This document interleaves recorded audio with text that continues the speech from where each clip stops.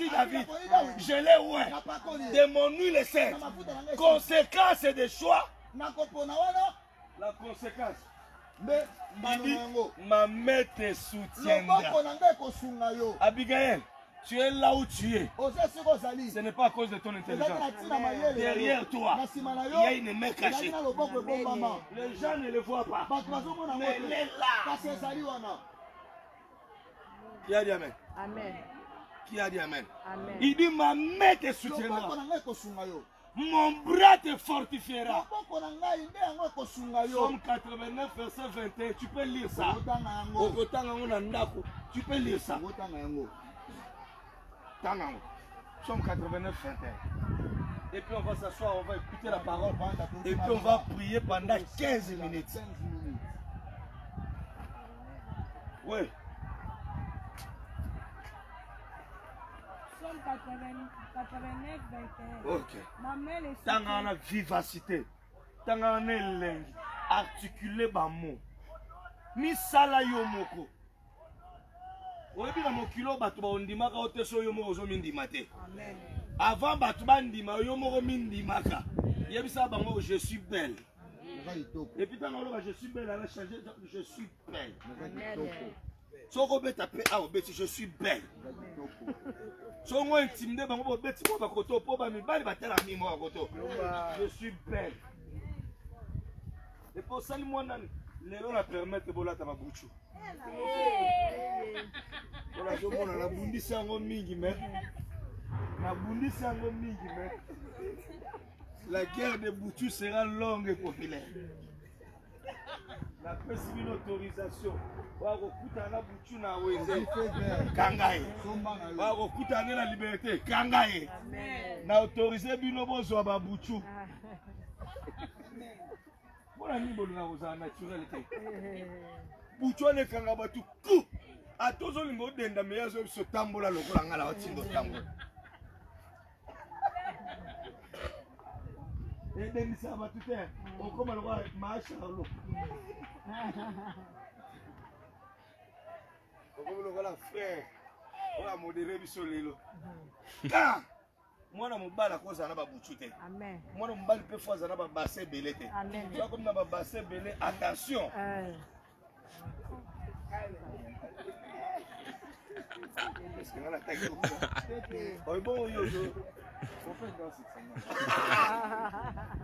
Ah, papa mwana mobali ya solo mobali ya solo ngai te paster oyo auti ambolaso te alobi nini mwasi natika olambele nini mwasi mobali abongana na libumu te omoni ndenge alinga afukama alokotaka eloko abembadi tika na telema eh. nakoyebisa mama sani atika ah, kolambela nga fufu ya masa ntango aye na mwasi na alobi nini mama yoka makambo nalobaki tika fufu ya masa ya masango soki kutu na priere aokolokota papie moshwar te ebongo kuna na stade de martyr mpo toza na priere mosusu esukaka na bastade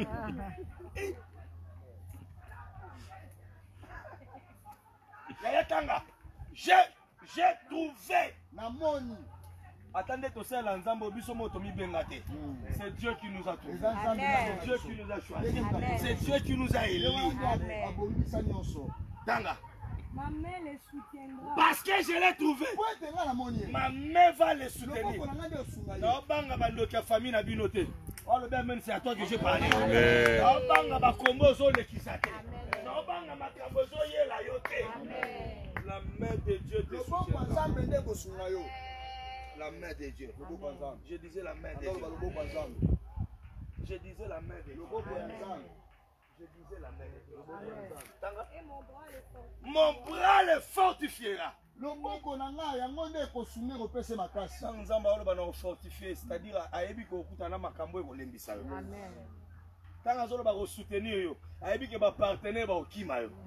ayebi ke bato basoutenaka yo wana a un certain moment balembaka mpe profete akotemoni balembaka na bango mpe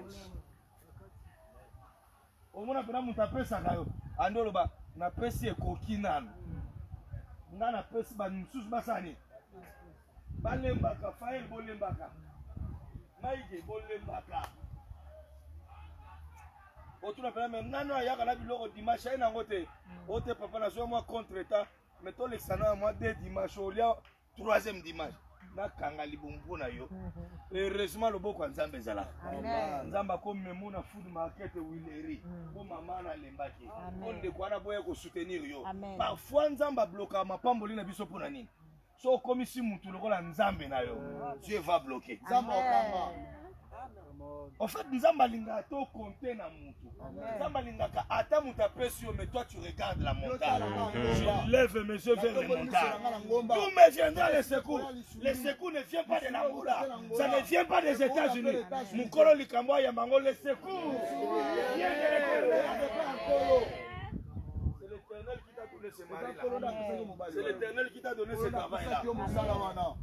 ere moso nzambe apamboli okozala orgueil so oza orgueil kolongwa nzambe akapable alongola yango atiki ona makolo azongisi yo ndenge ozalaka Asseyez-vous. Est-ce qu'on peut acclamer Jésus Mon petit homme d'aujourd'hui,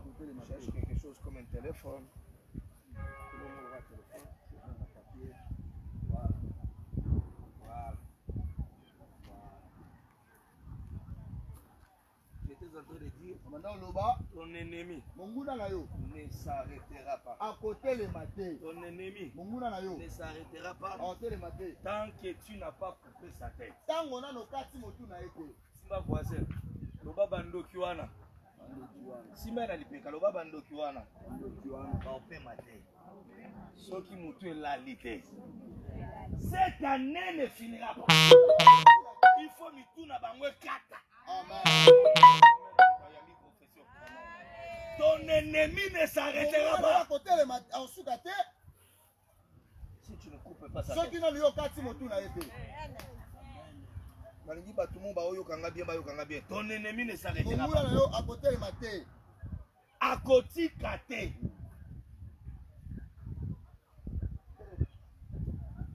moto aloka bino abisa kufa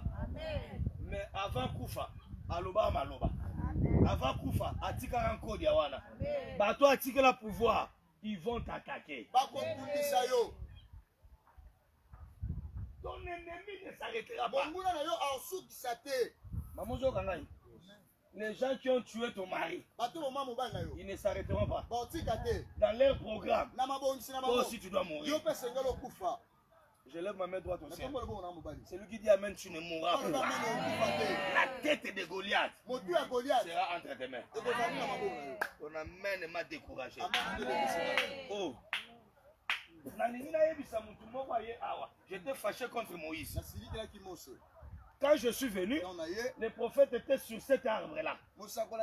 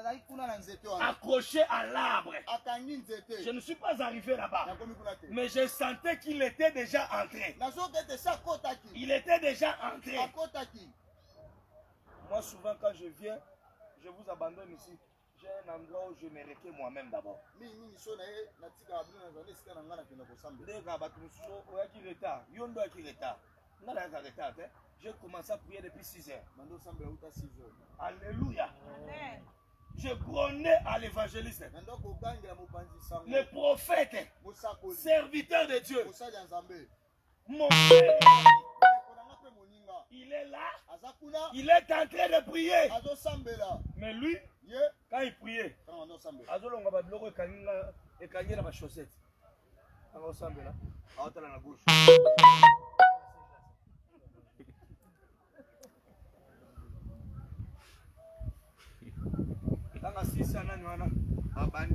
manzaka minu ne komi lokola coupe ongle la plupart des fois namona makambo yango bosala yango mingi na église moninga mosusu azokamba oyoka baserviteur de dieu mosusu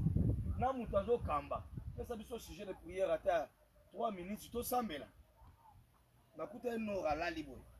natuni nora yo osambela te poani abi papa sujet de prière baopompe na sujet de prière ezala na basujet de prière mosusu ezalaka kilomotrike ebandi na pascal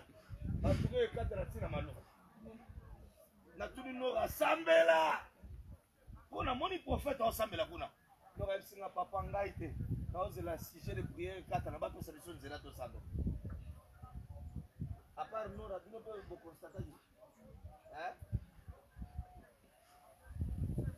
un modérateur c'est un pont modérateur aza pont il est en train de relier le peuple et dieu ye azosangi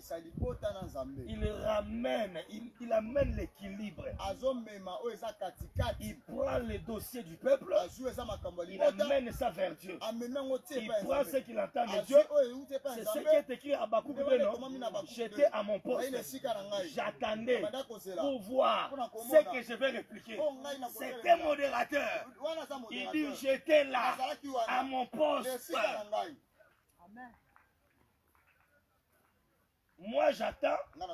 ce que Dieu me dira oh, et ce que je vais répliquer. Modérateur à la programme na papier boy. Mais le Saint-Esprit lui dit Makamba lelo za makamba papier de. Il suit l'instinct prophétique. Allah ni oza maloba lisa. Non na amen. Amen. Oh. Yo zo kamba no biso. Ozo te no biso. Mais 18 personnes ba olala. O continuer pe mater. mosala lobi ateyaki oyebi ka oteya kitoko opesa biso ba ba secret ba maison familiale hein? ba maison coutumier hein? bo comprendre lingala moni bato ba vivre mingi na angola ba mélange ba langue eza na monoko loba amen, amen. me nga moko ntango naye mokolo lingala oyebisi ngai Naza beni na ba declaration wana oyo lobi wana naza beni na yango qui a dit amen amen il faut modérateur soki otelemi bato bazoyoka bazala beni na maloba na yo je lève ma main droite au ciel celui qui cherche ta mort cette année on va la ayambi yango esalami nzambe na yango alobi amen koleka voisin esalama mpe makala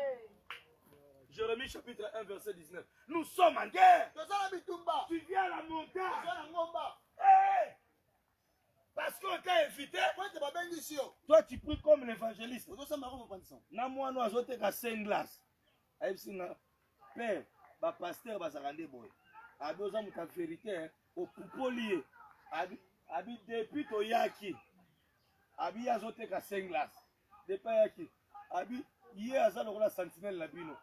aotalaka ne bato e aotalaka nazwi révélation ya pa mwana cinq glace nayebi se te aza mosala abi te etika bord ano betie utilise te momo alobi oza motu ya bata verité babengama wana abi obeti ye main libre eh? depuis ayaki frère wana abengi yo frère bingala bien aime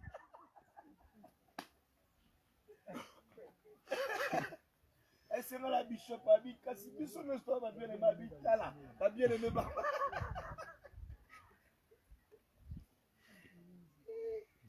papa oyebi ke biso ntango tobongola motema tolanda obena na bafrere eh, babengo mpe frere osepeli me lelo ndeko nakosala ata biloko na facebook sobi merci ndeko asiliki oyo akitinga ye estce moto akokiti soso ye nzambe atomboli yo est ce que moto akoloka yo soki nzambe apamboli yo na banda otuna baquestion est ce que moto ya mokili akokiti yo soki nzambe esi atomboli yo nana abi amen wana na opesa bino révélation mwana senglas abi papa osali bi obeti ye main libre eh? depuis na oteka senglas ana otalaka ye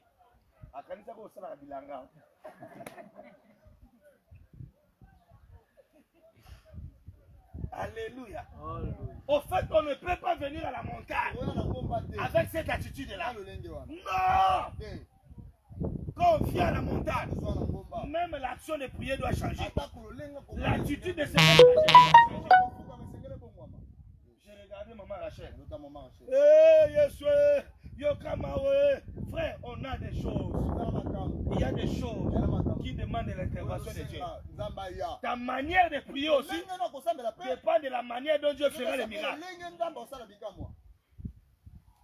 bana babi amen nayesa bino moto azosambela nzambe akobanda koetidie dossier na ye bongo moto azoganga moto azoganga koganga na kiebre balobanga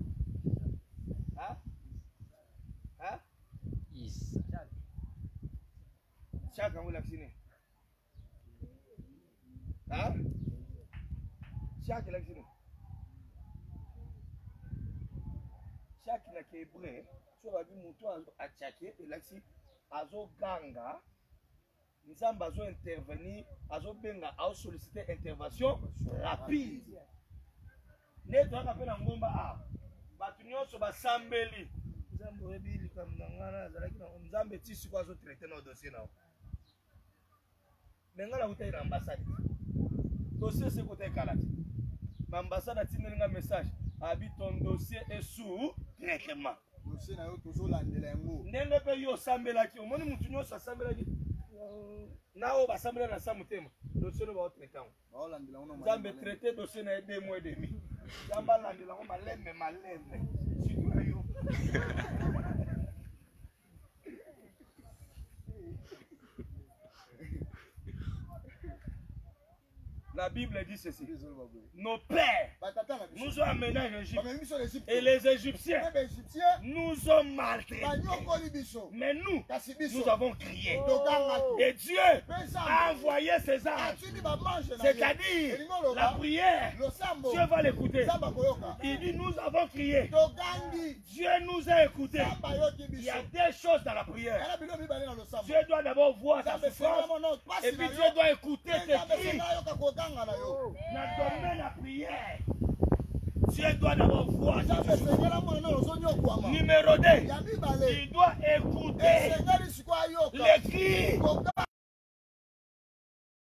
Mungongo ya kati.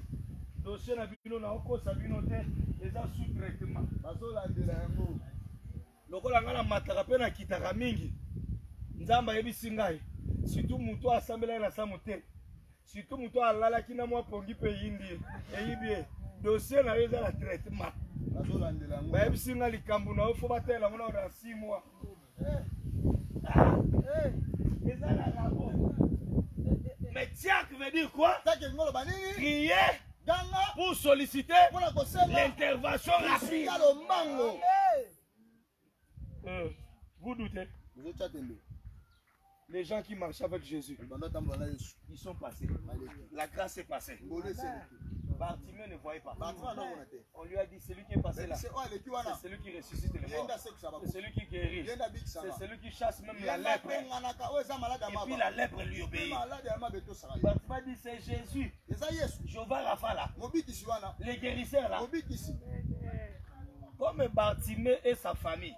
lokola bato mena libota na ye connaisse bien jésus bayebaki yesu malamu a ah, biso nabengi ye ndenge bango nyonso baobenga oyoka bien te il lui appelle par son nom maternel abenge na nkombo ya bomama na ye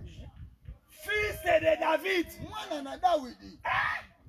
e pitié de moi yokelanga mawa ezalaki na sa motema te il a crie agangaki tanga yango na bible babi tanga oganga bato mosusu baoyebise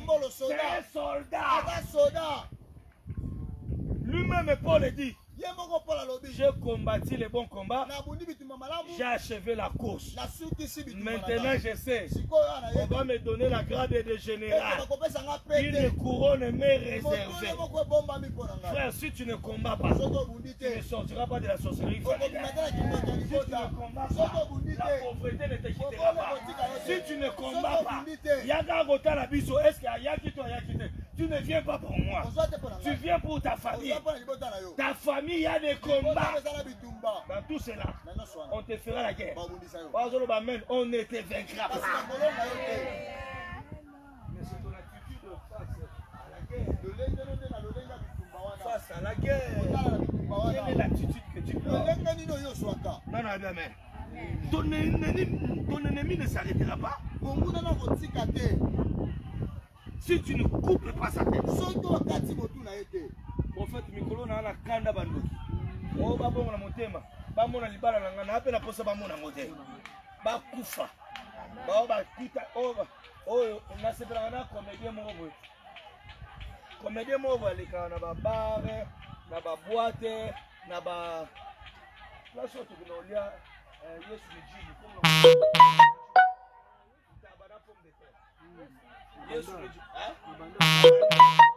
na yesu mojiko wana restaurant moko ya bien eza na likolo kuna basalaka komona nini nalobi yango ntaba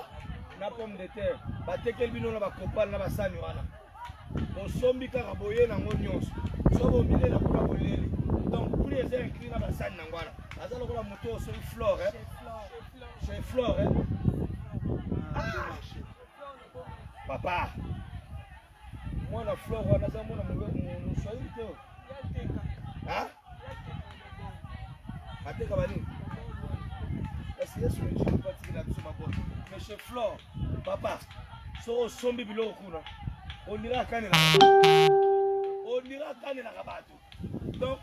ndenge oli yango ata kutu a prophète jonathan otika azotya foi na mema ye na motema naye azoloba na kotika te oloba boka mpona mema me okosisa te information te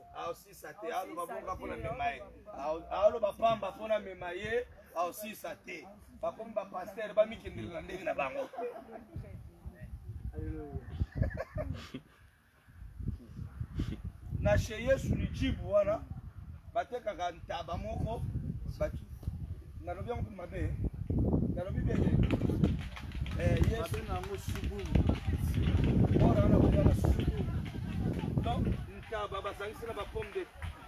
eza na ba revelation moko soko oteya dimanche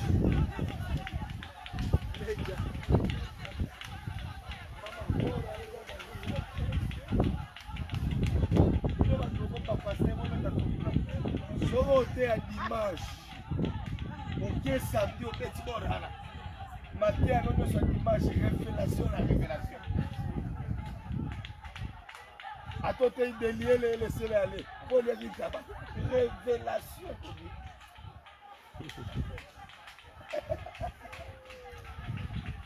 papa nalie nazali fatigue nabi bon nalia na ngango awa na obebe yango na ndako te nalie nalie nasilisi bato moko boye bayaka wana balati balata ndenge neti bascoute badekore bacomédien moko aye wana bonjour président oza ndeke ya jibe déjà na introduction abomi ngai abibino boza na bafamia ba eric mandala eh. kasi place nazwaka bana misala soso abibino baposol tala mbebo lokola bombo avanda nakota nga na ngai nasilika me introduction yaya zala un bon prédicateur zala un bon modérateur introduction na yo bato basepela abi mbebo oyo mbebo eh, ondiolyaka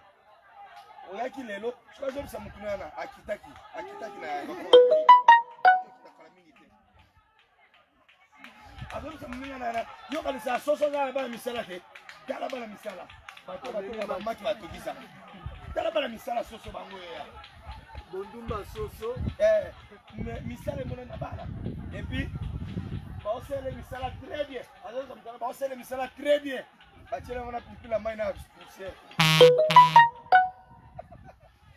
Abisoso alalaki na ye depuis 18 heures. Mais bango baotambola kaka. Bakokisa versement soso. Mais eloko etikaki na eza nini? Azwi telefone. Na miso, papa, ti azosala bacommentaire wana na obouge te. Mbongo na nga mpe evandi ebouge te. Azwi telefone. Allo?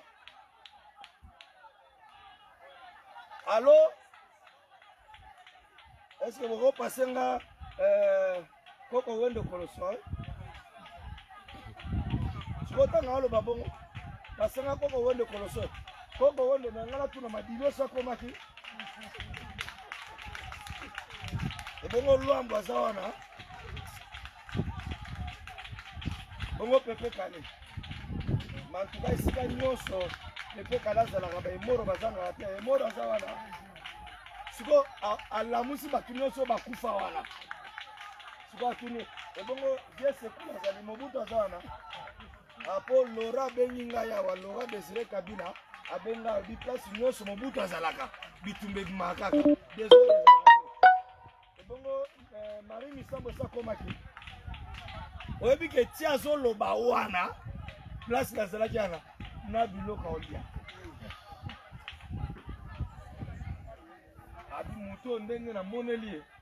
apesaka mbongo dola loba amen au fait j'allais tirer un enseignement pour te dire quoi ye azolamusa bato bakufa aotuna ah, wendo tabulei aza wana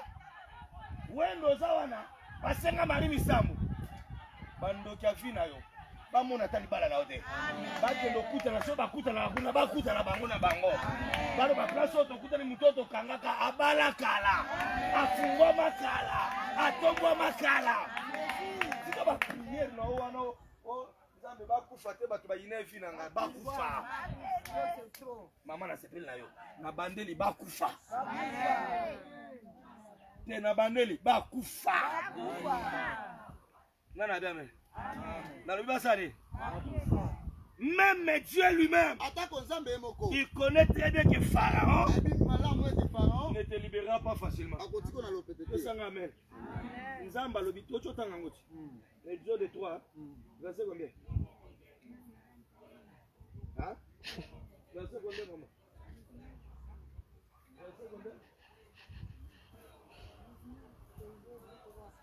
verse combien bopesa ngai na 19 nzambe abi nayebi ke roi ya egypte akotika bino te eza wana tangela ngango na je sais que je sais que le roi d'Égypte ne vous laissera point aller. Ça c'est Dieu qui parle. Je sais que le roi d'Égypte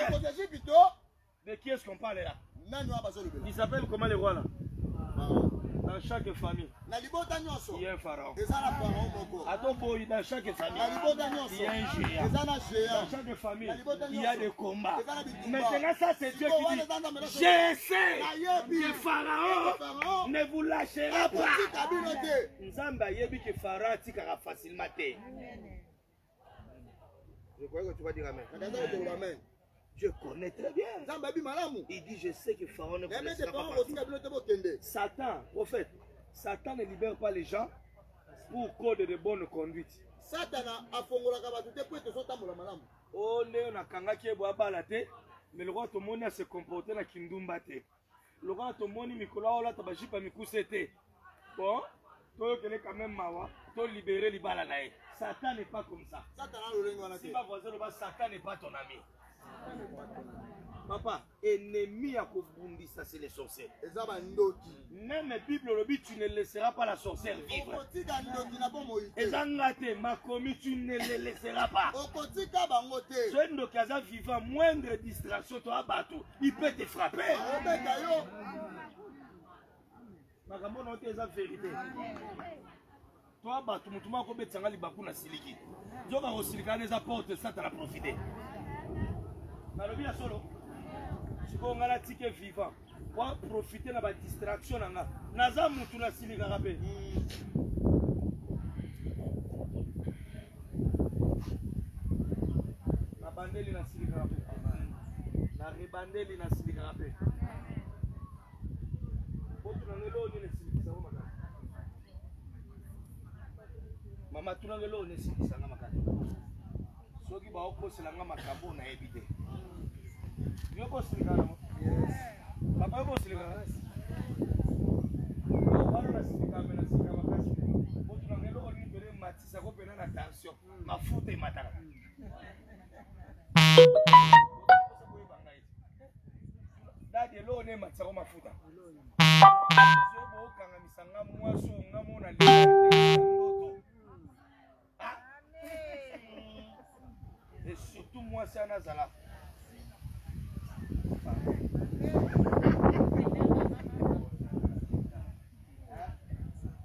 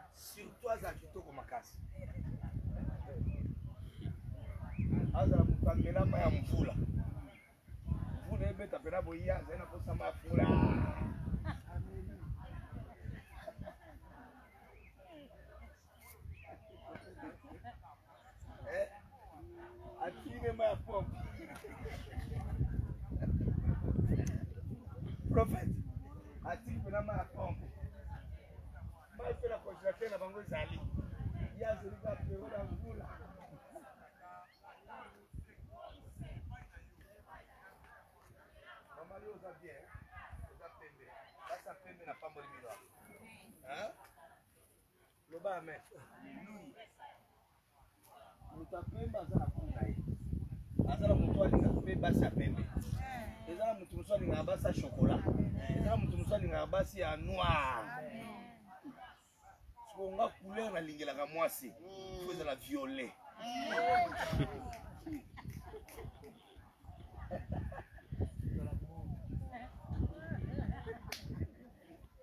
violet nde moka ngai bolukela nanga moka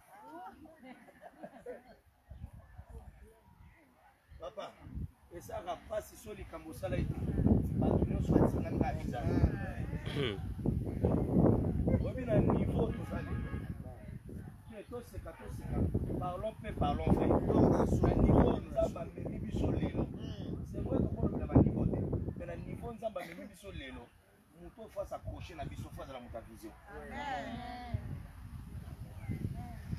Amen. Nga penza na ma, nga na oh, papa na yandu kaka, ce moto au, au tingama ngo oh, ndo za boye, na loto ake yo ndo za mbali na nga ya lesela nefa. Nga linga bandoto te. Ezaka nga mote na nzambe pa lapa depuis Adam ebisaki ye. Mm. ba malheur nyonso nazomona eza mm. mwasi opesa ye ngai depuis wana nzambe aponela yesu motu mwasi te ata bakolota yo me yo moko pona loba nalingi ya butu mm. nalingi ya butu mpe nalingi ya butu te ngai nalingaka butu te nalingaka minene te ndongo oza boye regle monene na yo eza ngai te eza moteya ngola azoteya biso abi mwasi nalambele su masango te mpo libumu ezosala nini bomoni alinga alokota pape mosusu akokaki ntango afukamaka akokaki libumu ezo empeshe meme asala babiloko biso tosalaka bato ya mabumu nyonso bangomba bakokaka susu te mangenge akolobelo français palpitation namema paster moko boye na mangengenge auta braza auta pointe na yoka français ntango akomi na eza 14 croix akomi kaka kuna eh, ayebisi bato oyebi ke ti alobaka kenda mangenge aozonga akanisa akosaka biso me nandimi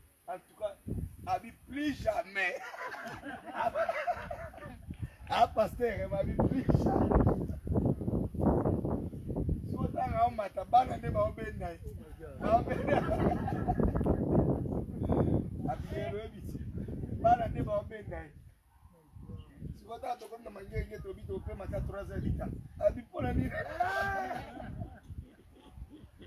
abi nde tokomi na ntongo topema jour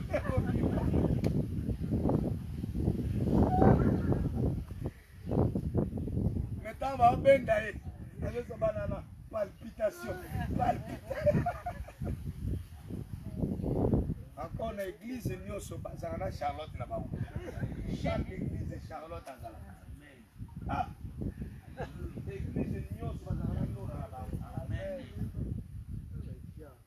Hein? église nyonso bazalaka na rosi na bango chaque église ata catholique baa na nora na bango nde bomona mpe papa rene boye église nyonso baza na papa rene na bango okaka tendre père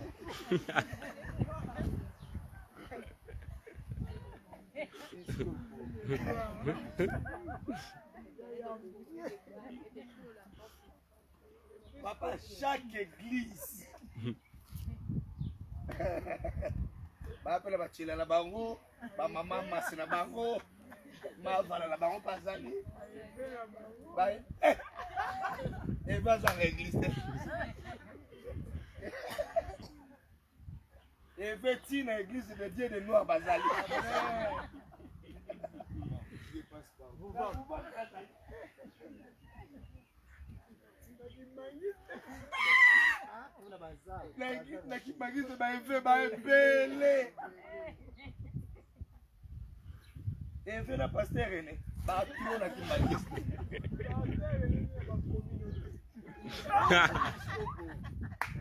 wana bato babatela doctrine la septième communauté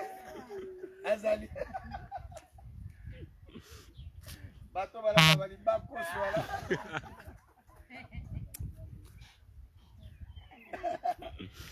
Aleluya. papa natomboka makasi so obambili nga likambo oyo ngai nayebi te okobosana na ngai bandimaka eloko oyo oyebi hmm. me oyo oyebi te ça fait mal ata oza paster ça fait mal